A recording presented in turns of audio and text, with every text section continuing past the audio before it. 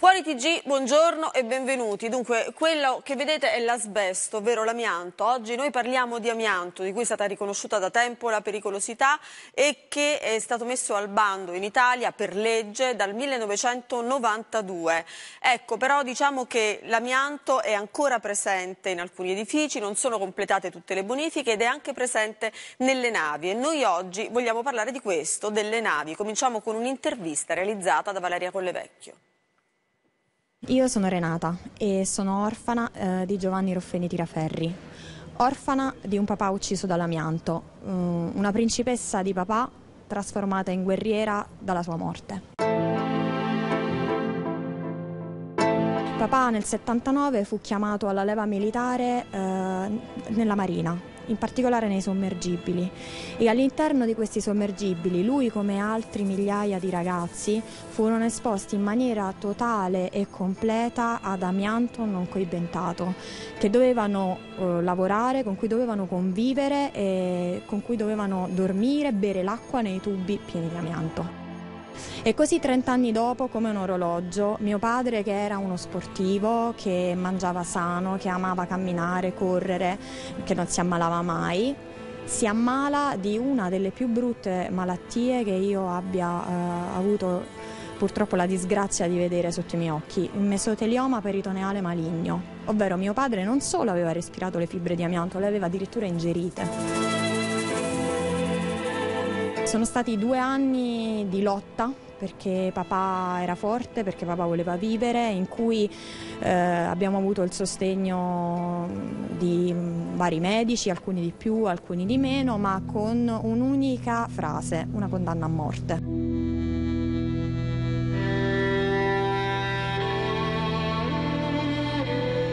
Quando papà eh, si è spento, eh, ucciso da questa maledetta malattia, io ho giurato che avrei fatto di tutto per aiutare in qualunque modo possibile chi si trovava nella stessa situazione. Al giorno d'oggi ancora è difficile ehm, dimostrare la, uh, quello che è palese, ovvero il collegamento fra le malattie asbesto correlate all'esposizione all'amianto. E questo non solo in, in, via privata, quindi a tutte quelle aziende che hanno esposto eh, i loro operai, i loro dipendenti all'amianto, ma anche con lo stesso Stato italiano che con mio padre ha ammesso la sua colpa perché io sono orfana di vittima del dovere, mio padre è stato dichiarato vittima del dovere, ma in Italia dal nostro, dalle nostre ricerche ne contiamo tre di equiparati vittime del dovere a seguito dell'esposizione ad amianto, su uh, qualche migliaio di casi di militari morti per esposizione dopo tutte queste battaglie, per lei l'amianto cos'è? Un killer non più tanto silenzioso. Prima lo definivano il killer silenzioso, adesso noi gli abbiamo dato voce a questo killer e in questo modo, con questa voce, piano piano lo distruggeremo. Dunque, amianto sotto coperta è il titolo della nostra puntata di oggi, amianto su navi militari. Si tratta di una vicenda ancora aperta, di bonifiche in corso e quindi ne parleremo con due ospiti per capire a che punto siamo e poi vedrete, avremo eh, diversi servizi filmati. Vi presento intanto gli ospiti che sono qua in studio insieme a me. Abbiamo l'onorevole Paola Boldrini della Commissione Difesa della Camera dei Deputati. Buongiorno, Buongiorno. benvenuta a Fuori TG. Lei tra l'altro fa parte anche della Commissione d'inchiesta sì. sull'uranio impoverito? Sì, e sugli altri effetti patogeni che sono correlati alle attività appunto delle forze armate. Senta, mi dica subito, lei ha visitato un cantiere dove c'è in corso la bonifica di navi sì, militari? Eh, tra la previsione delle missioni che abbiamo fatto nella nostra Commissione d'inchiesta c'era la previsione appunto di visitare dei cantieri laddove c'erano gli arsenali militari, praticamente i cantieri navali. Personalmente sono andata nel cantiere navale di La Spezia e lì abbiamo visitato le officine laddove si stavano facendo bonifiche sia nell'ambito dell'officina stessa ma anche eh, proprio la bonifica delle navi perché arrivavano lì le navi da bonificare. Sappiamo che le navi sono bonificate da aziende esterne perché la Marina stessa può aiutare ma ci sono delle aziende anche perché l'amianto lo sappiamo è da trattare con molta cura per cui la bonifica, esatto, la bonifica ma anche il, lo smaltimento dell'amianto è pericolosissimo per cui c'è tutta una cura particolare.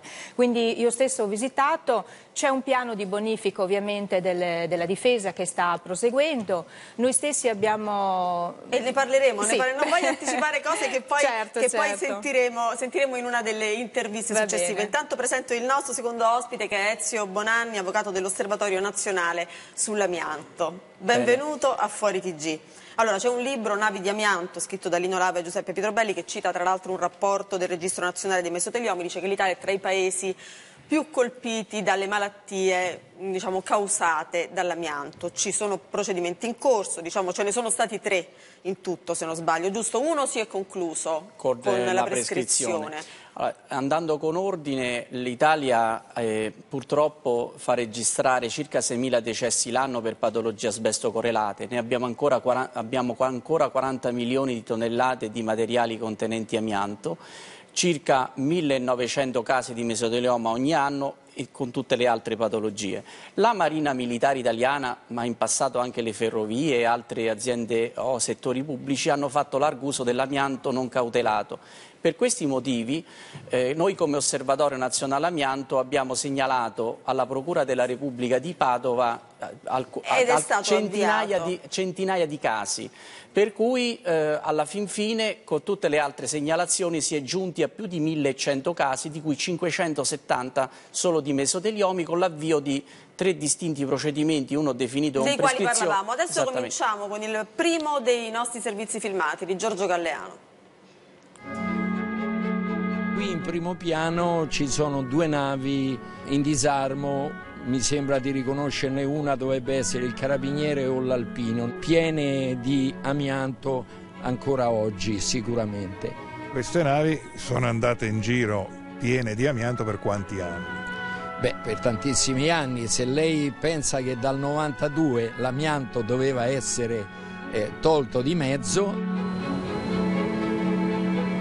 il Ministero della Difesa risarcisce ma ci fa fare veramente molta molta fatica. La nostra giustizia funziona in questo modo, lentamente, perché ci sono eh, cavilli, perché il riconoscimento del nesso causale spesso è difficoltoso e controverso e, e i tempi della giustizia sono molto lunghi.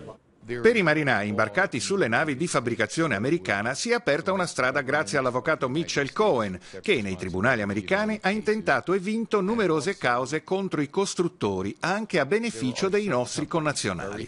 Abbiamo seguito circa 140 casi e di questi 100 sono già stati risarciti.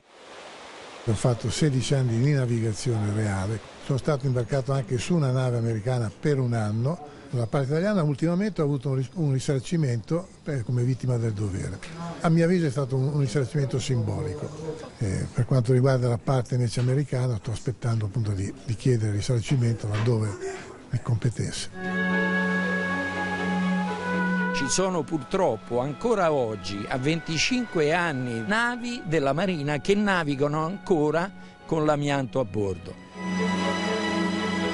Alcune navi per essere non totalmente ma parzialmente bonificate hanno impiegato 15 anni. Noi avevamo chiesto eh, nel 2010 all'allora ispettore generale di tutta la sanità militare di essere sottoposti a sorveglianza sanitaria. Eh, provvedimento adottato universalmente dai paesi eh, più avanzati, diciamo. Purtroppo in Italia questa richiesta di aiuto è rimasta eh, inascoltata. Noi ci sentiamo abbandonati dall'amministrazione militare che abbiamo servito, servito lo Stato intendo dire, dopodiché una volta andati in quiescenza di noi si sono completamente o quasi completamente dimenticati e questo non, è, non fa onore. Dunque, tra un attimo sentiremo un'intervista a un ammiraglio appunto, di Stato Maggiore della Marina Militare. Volevo fare una, un rapido passaggio tornando un momento a quello che stavamo dicendo prima. Stiamo parlando di, ehm, di una fase diciamo, istruttoria, quindi siamo alla fase dell'ipotesi. Però dal punto di vista oggettivo, fermo la presunzione di innocenza naturalmente, il dato oggettivo è un certo numero di casi di decessi, tra l'altro rubricati e anche accertati dalla commissione d'inchiesta che a pagina eh, 18 fa riferimento per i soli casi segnalati alla Procura di Padova a più di 1000 1100 casi, di cui 100, se- 100, eh, 570 per mesotelioma pleurico, mentre la Marina ne aveva segnalati 126 e dopodiché ci sono tutti i casi già riconosciuti, anche il caso di Renata. Renata era stata riconosciuta, però per un cavillo l'amministrazione della difesa negava addirittura l'indennizzo e abbiamo ottenuto dal tribunale, di, eh, dal tribunale competente la sentenza di condanna che però l'Avvocatura dello Stato su mandato della, della Marina Militare ha impugnato, quindi lo- la, la Marina si è accanita, Allora. con, eh, si, è, diciamo, si oppone anche all'indennizzo per Allora, le intanto questa ragazza diciamo, ha ottenuto... eh, Non ancora- no, non an- ha, ottenuto una sente- ha ottenuto il riconoscimento di orfana, però la, la Marina ha negato il risarcimento e ha ottenuto con la nostra assistenza legale una sentenza di condanna che però lo Stato ha im- la- l'Avvocatura dello Stato ha impugnato. Ancora una volta, quindi vicenda in corso. Voleva dire qualcosa, onorevole Sì, Boldrini? eh, io abbiamo- volevo dire alcune cose. Eh, beh, innanzitutto prima si parlava di navi eh, che effettivamente non è ancora completata la mappatura delle navi che sono state bonificate. Perché, Quando è iniziata questa mappatura Eh, delle navi? Beh, è iniziata Una decina molti d'anni anni fa? fa, sì, e però eh, noi abbiamo avuto un'audizione del segretario generale della difesa Magrassi, un'audizione, questo è un dato che riporto ma eh, dopo non abbiamo avute altre, quindi erano 145 unità navali bonificate eh, contro le 167 esistenti, per cui è ovvio non è finita la bonifica, però si sta proseguendo. Eh, credo sia ora di sentire a Sì, questo punto sì. la Marina. Allora, Certo. Valeria Collevecchio ha intervistato Massimo Guma, ammiraglio di Stato Maggiore della Marina Militare. Sentiamo da lui a che punto è questa bonifica. Ammiraglio, quando vi siete accorti della pericolosità dell'amianto e cosa avete fatto? La pericolosità dell'amianto è, è correlata alla eh, possibilità che vi sia rilascio di fibre aerodisperse. Quindi eh, di fatto il legislatore eh, è- emana eh, un divieto di utilizzo dell'amianto e a partire dal decreto ministeriale del 94 inizia a dare disposizioni specifiche. Quindi la Marina, una volta che vi è stata eh, la consapevolezza, ha avviato le azioni necessarie a gestire il rischio affinché fosse minimizzata l'esposizione del proprio personale. A che punto siete con le bonifiche delle vostre navi? Parlando di bonifiche è opportuno precisare un concetto. Bonifica non vuol dire rimozione definitiva, quindi gli interventi di bonifica intesi mirati alla gestione del rischio di esposizione alle fibre aerodisperse sono tutti in- essere. La rimozione definitiva dell'amianto è invece ancora in corso. Quindi di fatto vi è il monitoraggio a bordo delle navi e presso le infrastrutture dei materiali che contengono amianto affinché ne sia gestito la loro presenza e valutati i rischi sempre per tutelare e minimizzare il rischio di esposizione del personale. In questo momento state usando delle navi invece dove non c'è stato nessun intervento? Allora, tutti gli- tutte le navi sono state oggetto di bonifica intesa come intervento necessario a minimizzare il rischio dell'amianto. Ci sono ancora, confermo, interventi in corso per la rimozione definitiva. Tutti i vostri militari possono stare tranquilli oggi. Io sono il capo ufficio prevenzione e tutela personale, quindi è chiaro che il nostro obiettivo è la tutela del personale.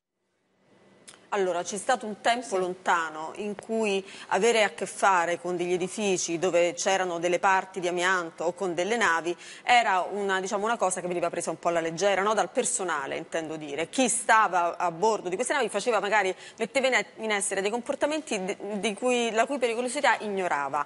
Oggi è cambiata questa cosa? Certamente sono stati fatti molti passi avanti anche dalla stessa amministrazione della difesa e dalla Marina Militare che eh, avendo preso coscienza del gran numero di casi di mesotelioma di, e altre patologie legate all'amianto, ma anche grazie all'intervento legislativo di equiparazione alle vittime del dovere, per intervento allora dell'ex presidente della Repubblica, Napoli, dell'allora presidente della Repubblica Napolitano, è chiaro che da quel momento ci, ci fu un forte, eh, in, eh, una forte azione di inizio delle bonifiche. Naturalmente ora stiamo pagando le conseguenze delle vecchie esposizioni certo. e come diceva il diciamo, previsto il per il 2025 come diceva effettivamente l'ammiraglio, minimizzare il rischio vuol dire che il rischio c'è sempre, eh, diciamo, quindi c'è un'ammissione da parte della Marina Militare che ora loro hanno minimizzato questo rischio, quindi il rischio c'è. Abbiamo, era importante sentire. sentire. Allora, eh, diciamo, mm, c'è un'altra vicenda diversa che probabilmente, anzi immagino sicuramente voi avrete seguito come commissione onorevole Boldrini, che è quella del Radon. Sì. Ci sono state delle condanne sì. E si tratta di una, di una prima volta, possiamo certo, dirlo, no? Certo, anche qui una prima volta perché c'è stata una, una, verifica da parte di un istituto eh, che ha fatto appunto queste verifiche e ha dato la possibilità di accertare l'effettiva esistenza di questo, di questo gas, che è un gas naturale. Si trovava all'interno di una si base? Si trovava all'interno di una base eh, al Monte Venda, eh, vicino ai Colle Euganei, nel Veneto, e ehm, che però questo, questo gas, che pur naturale, è tossico, altamente tossico e quindi in presenza di areazione potrebbe, ehm, come posso dire, levare l'efficacia, però in presenza di una chiusura come è stato fatto questo bunker perché era degli anni dopo, dopo, durante il periodo della guerra fredda, eh, costringendo appunto le persone eh, in questo bunker non c'era respirazione per cui c'è stato questo effetto di tossicità. Anche su, questo, su questa cosa insomma, è stato discusso molto. Insomma, e noi abbiamo, abbia... volevo proporvi l'intervista ai figli di una delle vittime del RAD Radon dopo, diciamo, all'indomani di questa sentenza. La nostra Flavia certo. Paone l'ha realizzata. Mio padre eh, si chiamava Graziano, eh, ha, ha, cominciato a lavorare lì all'età di 18 anni, ha lavorato su, nel Montevenda, eh, primo rock Montevenda, dove c'era questa galleria in pratica, dove c'erano tutti i radar che controllavano il traffico aereo militare, era una, una base NATO. Dal 2006 in poi hanno chiuso, chiuso, la caserma perché hanno cominciato a venire fuori delle analisi dove si rilevava appunto dei livelli di radon elevati. Si pensi che il valore normale dovrebbe essere intorno ai 500 becquerel e lì tro trovavano valori di 14.000 becquerel, quindi valori altissimi. l'aria era terribile là dentro perché anche noi delle volte andavamo e ti sentivi quest'aria pesante che ti veniva addosso loro sentivano che, che, qualcosa non andava. Quando hanno iniziato veramente a morire tutte queste persone, veramente hanno iniziato a, a dire ma quello lavorava con me, quello faceva i turni con me e è morto. Infatti noi spesso diceva devo andare a un funerale, ma caspita dicevamo ma, ma quanti ne muoiono? Lo chiamano a fare finalmente dei controlli, che avevano dal 2006 che sapevano che c'erano questi problemi, i primi controlli li hanno fatti nel 2012 a queste persone che ormai ne erano morte parecchie e da lì è cominciato il, il declino, nel senso che hanno cominciato e hanno diagnosticato questo mesotelioma, questo tumore al polmone. Si è sentito tradito dall'aeronautica da quel no. no. Lui l'unica cosa che, eh, che a lui ha dato, diciamo, eh, l'amarezza era il fatto di dire se loro lo sapevano, perché non ci hanno chiamato prima? Quello che mi dà, mi dà più fastidio è quello che queste persone eh, non abbiano voluto, voluto, perché lì è stato proprio voluto, dire, far sapere quello che, quello che era il problema della caserma e quindi affrontarlo e dire cerchiamo di eh, salvare il più possibile delle persone che hanno lavorato lì. La, l'arma aeronautica non ha voluto dare la lista delle persone che hanno lavorato, il, che hanno lavorato al Venda, nonostante il, il, giudice lo abbia richiesto. Non stiamo parlando di numeri, ma stiamo parlando di persone che sono morte. Cioè, è questa la differenza. Cioè, a noi, a noi ci è mancato nostro papà, era giovanissimo e, e questo non ce lo riderà più nessuno però la speranza che per qualcun altro vada meglio, insomma.